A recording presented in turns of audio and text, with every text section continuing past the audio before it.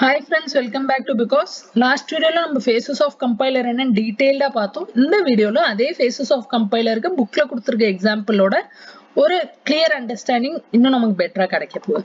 So கொடுத்துருக்க input source ப்ரோக்ராமில் இருக்க லைன் என்னன்னா position equal to initial plus rate into sixty இதான் என்னோட இனிஷியல் சோர்ஸ் ப்ரோக்ராம் என் லெக்சிக்கல் அனலைசர் என்ன பண்ணும்? இதை டோக்கன் டோக்கனாக பிரிக்கும். அப்போ இதில் டோக்கன் எது எது? பொசிஷன் ஒரு டோக்கன் ஈக்குவல் டு ஒரு டோக்கன் இனிஷியல் ஒரு டோக்கன் ப்ளஸ் ஒரு டோக்கன் ரேட் ஒரு டோக்கன் ஸ்டார் ஒரு டோக்கன் சிக்ஸ்டி ஒரு டோக்கன் தென் அடிஷ்னலாக என்ன பண்ணும்? ஒரு கீ வேல்யூ பேர் எங்கெல்லாம் ஆப்பரண்ட் இருக்கோ அதுக்கெல்லாம் ஒரு கீ வேல்யூ பேர் ஸோ பொசிஷனுக்கு ஐடி ஒன் ஸோ இந்த ஐடிங்கிறது என்ன? ஒரு ஜஸ்ட் நேம் ஒரு பேரு தான். ஸோ இந்த ஒன்னுங்கிறது என்ன அப்படின்னு பார்த்தோம்னா நம்ம ப்ரீவியஸாகவும் பார்த்தோம். என் சிம்பிள் டேபிளில் இருக்கிற லொக்கேஷன் அப்போ என் பொசிஷன் எங்கே இருக்கு? என் சிம்பிள் டேபிளில் லொக்கேஷன் ஒன்ல இருக்கு. ஸோ என் பொசிஷன் எங்கே இருக்கு? என் சிம்பிள் டேபிள் லொக்கேஷன் ஒன்ல இருக்கு. So ID one equal to so equal டுக்கு எந்த வேல்யூவும் இருக்கா ஏன்னா இந்த ஆப்ரேட்டரை நம்ம சிம்பிள் டேபிளில் ஸ்டோர் பண்ண மாட்டோம். Then ID two ID two எதுக்கு? இனிஷியலுக்கு அப்போ இந்த இனிஷியல் எங்க இருக்கு? சிம்பிள் டேபிள்ல டூங்கிற பொசிஷன்ல இருக்கு. Okay ID two plus ID three இந்த ஐடி த்ரீ எதை குறிக்குது? இந்த ரேட்டை குறிக்குது. எல்லா டைமும் சேம் நேம் இருக்கணும்னு இல்லை வேற வேற பேர் கூட இருக்கலாம். நான் புக்ல இருக்கிற மாதிரி அப்படியே வச்சிருக்கேன். ஸோ ஐடி த்ரீ த்ரீ எதை குறிக்குது? சிம்பிள் டேபிள்ல பொசிஷனை குறிக்குது. ஸோ த்ரீ இல்லை என்ன இருக்கு? ரேட் இருக்கு. ஸோ இன்டூ இன்டூக்கு வந்து வேல்யூ இருக்காது. ஏன்னா சிம்பிள் டேபிளில் ஸ்டோர் பண்ண மாட்டோம். இன்டூ சிக்ஸ்டி ஸோ இதையும் சிம்பிள் டேபிளில் ஸ்டோர் பண்ண மாட்டோம். இதுக்கும் வேல்யூ இருக்காது. ஸோ சாரி இதுக்கு வந்து ஐடி எதுவுமே இருக்காது. டைரக்டான வேல்யூ ஏன்னா டைரக்ட் வேல்யூ மட்டும் இருக்கு. நெக்ஸ்ட் சின்டாக்ஸ் அனலைசர் சின்டாக்ஸ் அனலைசரோட வேலை என்ன? ப்ரீவியஸ் ஸ்டெப்லேருந்து கிடைக்கிற செட் ஆஃப் டோக்கன்ஸ்க்கு ட்ரீ கன்ஸ்ட்ரக்ட் பண்ணும். ட்ரீ எப்படி கன்ஸ்ட்ரக்ட் பண்ணுவோம்? ஸோ ஃபர்ஸ்ட் ஈக்குவல் டு அந்த வேல்யூ நம்ம எதுக்கு அசைன் பண்ண போகிறோம் ஐடி ஒன்னுக்கு ஸோ லெஃப்ட் நோட் வந்து ID one so equal to is nothing but ID two so ID two first value plus ID three into sixty அப்போ இந்த மல்டிப்ளிகேஷன் ஃபர்ஸ்ட் நடக்கணும். அதனால பிளஸ் இங்கே ஸ்டார் வந்துட்டு ஐடி த்ரீ இன்டூ சிக்ஸ்டி இதை just இப்படியே ஞாபகம் வச்சுக்கோங்க. இது எக்ஸாக்டாக எப்படி வருதுன்னு டிஎஸ்சியில் பார்த்துருப்போம். அது ஞாபகம் தான் வச்சுக்கோங்க. இல்லைன்னா ஒன்றும் ப்ராப்ளம் இல்லை. ஹையர் ப்ரெசிடென்ஸ் எப்போதுமே ஃபஸ்ட்டு கண்டிப்பாக நடக்கணும். ஸோ இந்த போர்ஷன் வந்து நமக்கு ஃபஸ்ட்டு நடக்கணும். ஸோ எவ்வளோக்கு எவ்வளோ நம்ம ட்ரீல கீழே போகிறோமோ அவ்வளோக்கு எவ்வளோ அதோட ப்ரெசிடென்ஸ் இன்க்ரீஸ் ஆகும். அதை மட்டும் ஞாபகம் வச்சுக்கோங்க. ஸோ இந்த ID three into sixty first நடக்கும். அதுக்கப்புறம் இங்கே எனக்கு என்ன ரிசல்ட் கிடைக்குதோ அந்த வேல்யூவும் இந்த ஐடி டூவும் ஆட் பண்ணி ஃபைனலாக அது ஐடி ஒனுக்கு அசைன் பண்ணிடும் ஸோ சின்டாக்ஸ் அனலைசரில் என்ன நடந்துச்சு? ப்ரீவியஸ் ஸ்டெப்பாக கிடைச்ச டோக்கன்லேருந்து சின்டாக்ஸ் ட்ரீ நம்ம கன்ஸ்ட்ரக்ட் பண்ணிட்டோம். ஸோ சிமெண்டிக் அனலைசர் என்ன பண்ணும் அப்படின்னு பார்த்தோம்னா இப்போ சப்போஸ் இந்த ஐடி த்ரீ ரேட்டோட வேல்யூ வந்து ஃபோர் ரேட்டோட வேல்யூ வந்து ஃபோர் பாயிண்ட் ஒன்னு இருக்குன்னு வச்சுக்கோங்க. அப்போ ரேட்டோட டைப் பண்ண ஃப்ளோட் இங்கே இருக்கிற சிக்ஸ்டியோட டைப் பண்ண இன்டீஜர் அப்போ சிமெண்டிக் அனலைசர் என்ன பண்ணுது? ஃபோர்ஸ்ஃபுல்லாக டைப் கன்வர்ஷன் பண்ணுது. எதை டைப் கன்வெர்ட் பண்ணுது? இந்த சிக்ஸ்டியை ஃப்ளோட்டாக கன்வெர்ட் பண்ணுது. ஸோ இன் டூ ஃப்ளோட்டுங்கிறது ஒரு internal function it convert sixty into a floating type so அது சிமெண்டிக் அனலைசரோட வேலை. மற்றபடி டைப் செக்கிங்கும் சிமெண்டிக் அனலைசர் பண்ணும். இப்போ நெக்ஸ்ட் வந்து intermediary code generator so intermediary code generator என்ன பண்ணுவோம் நமக்கு த்ரீ அட்ரஸ் கோட் வந்து ஜென்ரேட் பண்ணி கொடுக்கும். த்ரீ அட்ரஸ் கோட்ல என்னெல்லாம் இருக்குன்னு பாருங்க. So first T one equal to int to float of sixty sixty வந்து ஃப்ளோட்டாக கன்வெர்ட் பண்ணுறோம் இது ஃபர்ஸ்ட் லைன் அதுக்கப்புறம் இது வந்து மொதல் லைன் இங்கே வந்து ஃப்ளோட்டாக கன்வெர்ட் ஆகிடுது அதுக்கப்புறம் என்ன பண்ணும்? இந்த டயக்ராம் கொஞ்சம் மேல் டயக்ராமும் வச்சுப்போம். இது ஃபஸ்ட்டு ஸ்டெப் இதை நான் ஃப்ளோட்டாக கன்வெர்ட் பண்ணிட்டேன். அதுக்கப்புறம் ஃப்ளோட்டாக கன்வெர்ட் பண்ணதையும் ஐடி த்ரீயும் நான் மல்டிப்ளை பண்ண போகிறேன் இந்த ஃப்ளோட்டாக கன்வெர்ட் பண்ணி நான் எங்கே ஸ்டோர் பண்ணியிருக்கேன்? டி ஒன்ல ஸ்டோர் பண்ணியிருக்கேன்.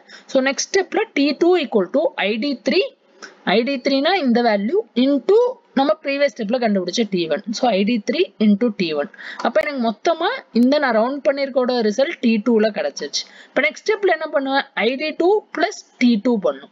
So ID two plus T டூவை பண்ணி ஒரு டெம்பரரி வேரியபிள ஸ்டோர் பண்ணிக்கிறேன் டி த்ரீ ஃபைனலாக ஐடி ஒன் ஐடி ஒன் தான் எனக்கு final variable ID one equal to T three பண்ணிட்டா எனக்கு ரிசல்ட் கிடைச்சிடும் ஸோ இதான் ஐசிஜியில் கிடைக்கிற த்ரீ அட்ரஸ் கோடில் கிடைக்கிற எனக்கு மூணு டிஃப்ரெண்ட் ஸ்டெப்ஸ் இப்போ நெக்ஸ்ட் ஸ்டெப்பில் பாருங்க கோட் ஆப்டிமைசர் ஸோ கோட் ஆப்டிமைசரோட வேலை என்ன? ஷார்ட்டர் ஃபாஸ்டர் கோட் இருக்கணும். அப்போ நம்ம இந்த மாதிரி தனித்தனியாக பண்ண கொஞ்சம் லாஜிக்கலி யோசிச்சு பார்த்தீங்கன்னா இந்த மொதல் ரெண்டு ஸ்டெப்பையும் கம்பைன் பண்ண முடியும். எப்படி கம்பைன் பண்ணலாம்? இப்போ int to float of sixteen எழுதுறதோட பெட்டரா அது சிக்ஸ்டி பாயிண்ட் ஜீரோன்னு எழுதிட்டா வேலை முடிஞ்சிச்சு. இப்போ நான் டேரெக்டா என்ன பண்றேன்? இந்த ஐடி த்ரீன்னு வச்சுக்கிட்டு இந்த ஸ்டெப்புக்கு பதிலாக நான் டேரெக்டாவே என்ன பண்றேன்? ஈவோனுக்கு பதிலாக சிக்ஸ்டி பாயிண்ட் ஜீரோ அப்படின்னு இங்க வச்சுக்கிறேன். ஸோ எனக்கு டேரெக்டாக அந்த ரெண்டு ஸ்டெப் கம்பைன் ஆகி ஒரு சிங்கிள் ஸ்டெப்பாக ஆயிடுது. ஒன்றுமே பண்ணல ஃப்ரெண்ட்ஸ் இந்த இன்ட்டு டூ ஃப்ளோட் ஆஃப் சிக்ஸ்டிக்கு பதிலாக நம்ம என்ன எழுதியிருக்கோம்னா சிக்ஸ்டி பாயிண்ட் ஜீரோன்னு எழுதியிருக்கோம். இங்கே டி ஒன் யூஸ் பண்ணாமல் டேரெக்டாக அடுத்த ஸ்டெப்பில் இந்த டி ஒனுக்கு பதிலாக சிக்ஸ்டி பாயிண்ட் ஜீரோவை சப்ஸ்டியூட் பண்ணிடுறோம். ஸோ எனக்கு ஒரு வேல்யூ கிடச்சிச்சு. இப்போ நெக்ஸ்ட் ஸ்டெப்பில் என்ன பண்ணோம் இங்கே டி த்ரீ ஒன்று அடிஷ்னலாக தேவையில்லாமல் யூஸ் பண்ணியிருக்காங்க. அதுக்கு பதிலாக டேரெக்டாக எனக்கு கிடைக்கிற ரிசல்ட்டை நான் ஐடி ஒன்குள்ள ஸ்டோர் பண்ணிடுறேன். அப்போ ரெண்டு லைன் ரெண்டு கம்ப்யூட்டேஷன் சைக்கிள் வந்து எனக்கு வேஸ்ட் ஆகாது. இது கோட் ஆப்டிமைசரோட வேலை. நெக்ஸ்ட் கோட் ஜென்ரேட்டரோட வேலை என்ன? டார்கெட் மெஷின் லெவல் கோட் எனக்கு ஜென்ரேட் பண்ணும். ஸோ மெஷின் லெவல் கோட் எப்படி இருக்கும்னா இப்படி தான் இருக்கும் லோட் எல்டினா என்னன்னா load so LD stands for load F என்ன குறிக்குது அப்படின்னா ஃப்ளோட்டை குறிக்குது. இப்படின்னா என்ன அர்த்தம் அப்படின்னா ஐடி த்ரீ ஓட வேல்யூவை ஆர் டூல ஸ்டோர் பண்ணும் அப்படின்னு அர்த்தம் ஸோ என்ன பண்ணும் ஐடி த்ரீயோட வேல்யூவை நம்ம ஒரு எக்ஸாம்பிள் எடுத்துக்கலாம் ID one ID two ID three நமக்கு என்ன இருந்துச்சு கொஷனில் ID one equal to ID two plus ID three into sixty okay so ID one equal to ID two plus ID three into sixty இதான் கொஷினில் நமக்கு கொடுத்துருந்தாங்க so இங்கே first நம்ம என்ன பண்ணோம்னு பாருங்க இதுக்கெல்லாம் ஒரு ரேண்டம் வேல்யூ எடுத்துப்போம் அப்போ தான் உங்களுக்கு ஐடி ஒன் தான் நம்ம கம்ப்யூட் பண்ண போகிறோம் ஸோ ஐடி டூக்கு ஒரு டென் ஐடி த்ரீக்கு ஒரு ஃபைவ் எடுத்துக்கிறேன். ஸோ ஃபஸ்ட்டு என்ன பண்ணுறாங்க load of float so load float ID த்ரீயை ஆர் டூ ரெஜிஸ்டருக்குள்ளே போடுறோம். ஸோ ஆர் டூன்னு என்கிட்ட ஒரு ரெஜிஸ்டர் இருக்குது இதுக்குள்ளே நான் என்ன பண்ணுறேன் ஆர் டூ ரெஜிஸ்டரில் ஐடி த்ரீயோட வேல்யூவை கொண்டு வந்து போடுறேன். ஸோ ஃபைவ்ங்கிற வேல்யூ இதுக்குள்ளே நான் போட்டேன். நெக்ஸ்ட் என்ன பண்ணுறாங்க மல்டிப்ளை ஃப்ளோட் எதையும் எதையும் மல்டிப்ளை பண்ணும்.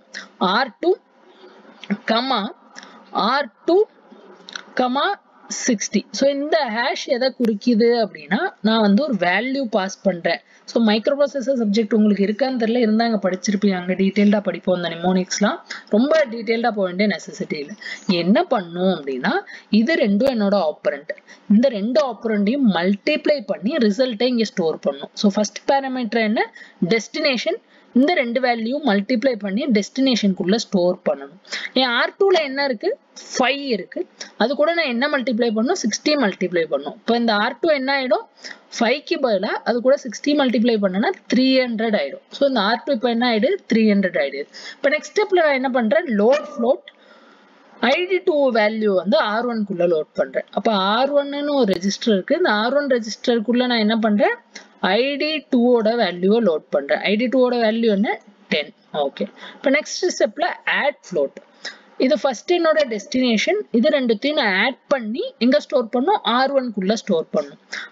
எது ரெண்டுத்தையும் ஆட் பண்ணும்? R one R two R ஒன்ல என்ன இருக்கு? டென் ஆர் டூல என்ன இருக்கு? த்ரீ ஹண்ட்ரட் அப்போ டென் பிளஸ் த்ரீ ஹண்ட்ரட் என்ன? த்ரீ டென் அதை நான் எங்க ஸ்டோர் பண்ணும்? ஆர் ஒன்ல ஸ்டோர் பண்ணும். அதனால R one becomes three hundred ten ஃபைனலா store float ID one comma R one so எப்போதுமே ஞாபகம் வச்சுக்கோங்க இது உங்களோட டெஸ்டினேஷன் இது உங்களோட சோர்ஸ் அப்போ என்ன பண்ணும் சோர்ஸ்ல இருக்கிறத டெஸ்டினேஷனுக்குள்ளே ஸ்டோர் பண்ணும் என் ஐடி ஒன் எங்கே? இங்கே இருக்கு. இதுக்குள்ள நான் என்ன ஸ்டோர் பண்ணும் ஆர் ஒன்ல என்ன வேல்யூ இருக்கோ அதை ஸ்டோர் பண்ணும் ஸோ ஆர் ஒன்ல இருக்கிற வேல்யூவை கொண்டு போய் ஐடி ஒன்ல ஸ்டோர் பண்ணிடுறேன். அப்போ எனக்கு என்ன கிடைக்குது? த்ரீ ஹண்ட்ரட் டென் என் ஃபைனல் ரிசல்ட் வந்து ஐடி ஒன்குள்ளே எனக்கு கிடச்சிருது. ஸோ இவ்வளோதான் ஃப்ரெண்ட்ஸ் ஒரு ஓவரால் எக்ஸாம்பிள் இதுக்கு கீழே நான் அந்த ஸ்லைட்ஸில் ஜஸ்ட் ஒரு கீ பாயிண்ட்ஸ் புக்கில் இருக்க மெயின் மெயின் பாயிண்ட்ஸ் மட்டும் வச்சுருக்கேன். அதை ஜஸ்ட் ஒரு டைம் குயிக்காக கதை படிக்கிற மாதிரி படித்து பாருங்கள் அப்போ ஒரு டைம் ரிவிஷனும் ஆகிடும் மறக்கவும் மறக்காது. வீடியோ பிடிச்சிருந்தா லைக் பண்ணிடுங்க ஃப்ரெண்ட்ஸ் கூட ஷேர் பண்ணலாம் ஷேர் பண்ணிடுங்க நெக்ஸ்ட் வீடியோவில் பார்க்கலாம். Thanks bye